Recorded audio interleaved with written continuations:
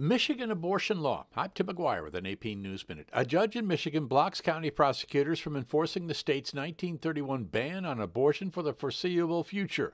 Oakland County Judge Jacob Cunningham. This court finds it is overwhelmingly in the public's interest to let the people of the great state of Michigan decide this matter at the ballot box, assuming the constitutional amendment initiative is on the ballot on November 8th. The ruling comes after the State Court of Appeals said earlier this month county prosecutors could enforce the old law, which followed the Supreme Court's overturning of Roe v. Wade. Walmart, the nation's largest employer, expanding its abortion coverage for employees. Company's health care plans will now cover abortion when there is a health risk to the mother, rape or incest, ectopic pregnancy, miscarriage, or lack of fetal viability.